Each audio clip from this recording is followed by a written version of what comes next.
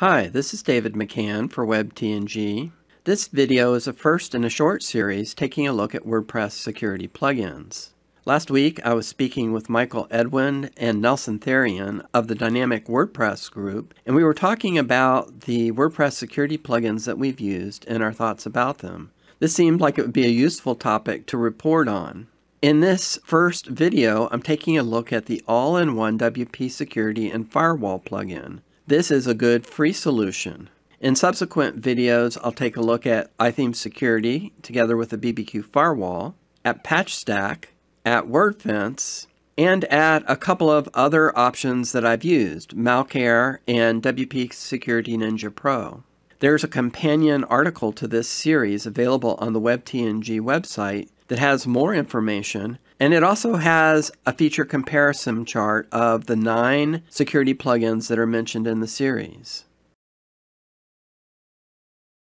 The first solution I'm looking at is the all-in-one WP Security and Firewall, or AIOS, which is a free plugin available in the WordPress plugin directory. There's some interesting things about this. First, it's got more than a million active installs.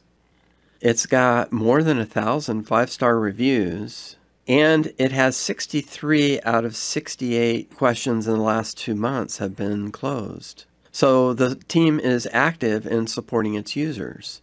And here's kind of a standout thing about AIOS, and that is that it's a totally free option.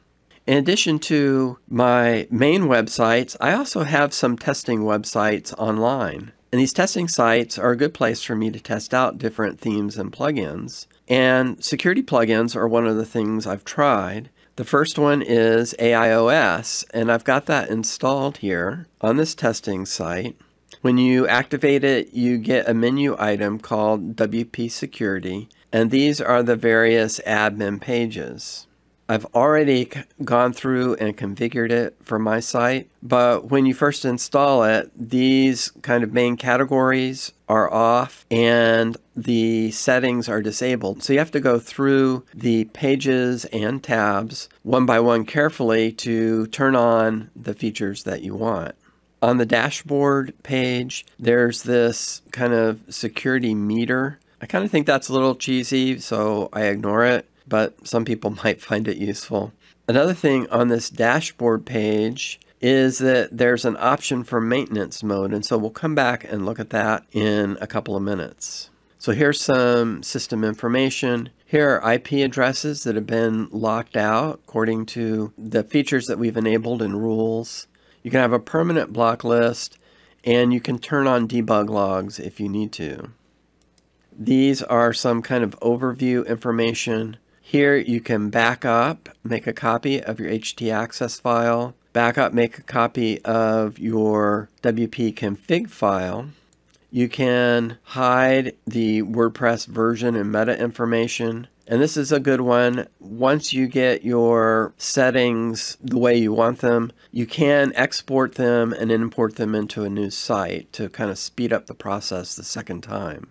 And then this is an option for changing how it detects the remote address.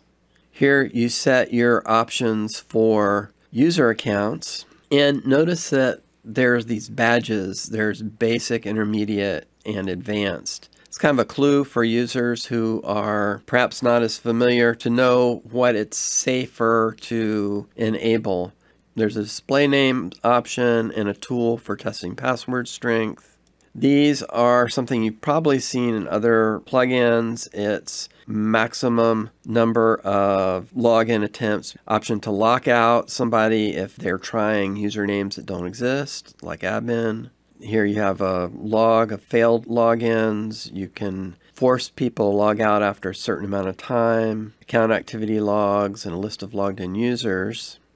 Here you can require manual approval, add registration reCAPTCHA and a registration honeypot.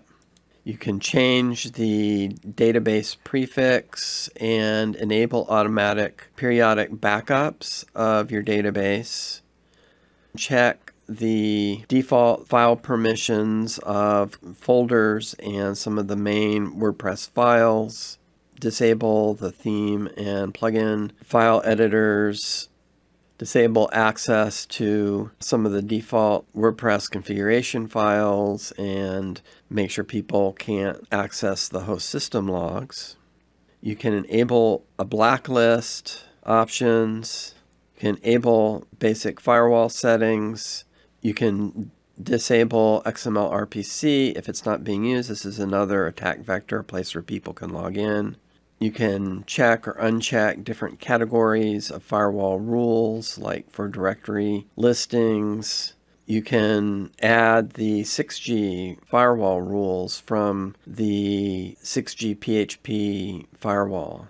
Blocking internet bots, preventing hot links for your images. There's some basic 404 detection here, not a whole lot. And then you can add your own rules an option to hide the login page, which some people want to do. It doesn't make your site more secure, but it makes it so some of the bots that are just going for the default login page won't find it. Uh, there's options for setting a cookie when people try to log in, adding reCAPTCHA to your login page, having a login whitelist and a honeypot. There's spam prevention for your comment form for BuddyPress and bbPress. This scanning option, this is scanning for file changes. This malware scan is not part of the plugin, so the AIOS doesn't have any malware scanning. And then this is the maintenance mode option that I was mentioning. You can check this if you want to um, show a maintenance mode message on the front end if your site's under development, or in my case, it's a testing site. So this is obviously not, you know, pretty themes and stuff like that. I mean, you could add images, but it's kind of a basic feature that works for me. I'm going to go ahead and log out and we'll go to the front page and see this is what it looks like. There's one more thing I want to look at in relation to all-in-one WP security, and that is there's this website, WP Hive. It tests free plugins in the WordPress plugin directory in several areas. I don't think it's the be-all, end-all, or final word, but it is one data point among several. And so I want to take a look at these security plugins, see what it says about them on WP Hive. And as you can see, the kind of tests it has is memory usage, page speed, errors and warnings, JavaScript issues, PHP compatibility, WordPress compatibility, database footprint, activation errors, resource errors frequently updated.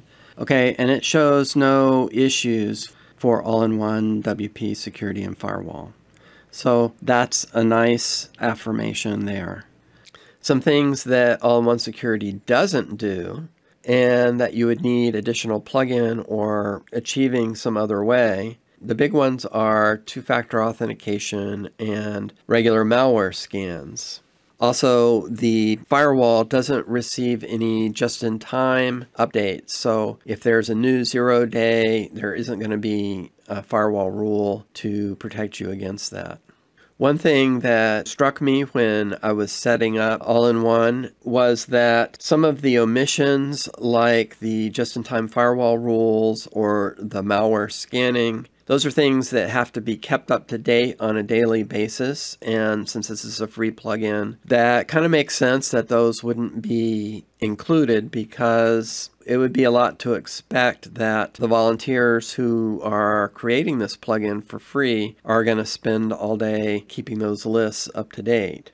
So anyway, while there are a couple of important features missing, I'm pretty happy with all-in-one WP security and firewall. I think it's a good choice for a single user basic WordPress site. Obviously, it's working on more than a million sites. So this is the first solution that I wanted to throw out there that I've been using and that works well. There is a companion article that goes along with this mini-series available on the WebTNG website along with other walkthroughs, reviews, and resources. Hope you found this look at all-in-one WP security and firewall interesting. Thank you for watching.